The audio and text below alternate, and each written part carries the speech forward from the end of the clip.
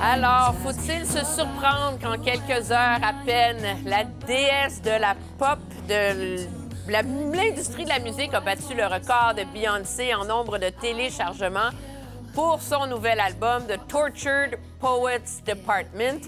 Alors, vous êtes... euh, qui est fan de Taylor Swift ici?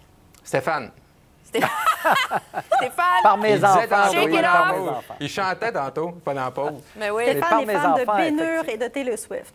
Oui, elle est incontournable. Écoute, là, pour. euh, moi, j'ai constaté, effectivement, son impact auprès de, de- de- de mes enfants et auprès de, ma femme, mais le, le résultat, cette personne est d'une qualité exceptionnelle. là. Sa dernière tournée avait un impact sur le PIB américain. Il Ben faut oui. comprendre ça.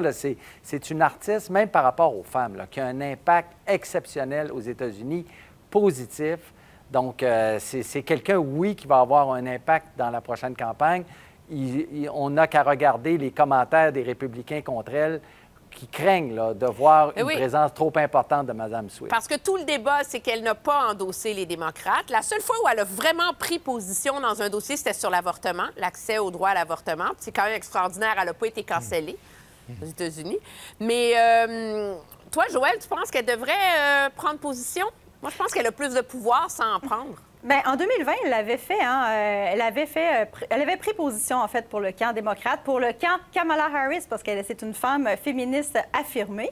Et je pense que oui, si elle prend position, elle, a- elle a de l'impact. Mais sa base est déjà à gauche. Sa base est déjà démocrate. Donc, les, seules les seules personnes qu'elle peut influencer, ce sont les indécis. Parce qu'il y a quand même une base d'indécis assez grande pour laquelle les deux partis là, vont essayer de, de se battre en ce moment. Moi je, moi, je vous avoue que je suis fan de la femme d'affaires qu'elle est. C'est une grande chanteuse, effectivement, mais c'est une Un productrice. milliard, elle a Oui, et rapporté sa dernière sa tournée. prochaine, quand- sa prochaine tournée est estimée à 2 milliards. C'est une milliardaire de 35 ans. Donc, les Américains là, estiment énormément les gens d'affaires. Donc, pour ça, je pense qu'elle incarne beaucoup plus qu'une artiste. C'est vraiment une femme d'affaires qui est euh, respectée. Donc, elle aurait un impact, effectivement, sur la campagne, je pense. Oui, mais tu sais, le plus gros impact, c'est- la performance de Joe Biden. Tu sais, elle a bien beau appuyer les démocrates. Ah, mais tu sais, c'est Joe Biden. C'est des boules il- les marches de l'avion, c'est des boules les marches d'avion. Si on- il perd euh, connaissance pendant le débat, c'est fini. Là. Je veux dire, un robot l'appuyer ou pas. Je veux dire, à un moment donné, tu veux-tu vraiment assez dire- risqué? Là? Pourquoi les gens écouteraient Taylor Swift? C'est une chanteuse, c'est un produit musical. Ben, moi, Pourquoi je ça compte pense. ce qu'elle pense de la politique? Ce qu'elle pense, c'est que c'est ce qu'elle incarne, effectivement. Comme le Joël le disait tantôt, elle incarne le droit des femmes, l'émancipation. Deux, elle va inviter les, les jeunes à aller voter. Ouais. Et ce qui manque aux démocrates, Ouais. elle n'a même pas besoin de prendre position.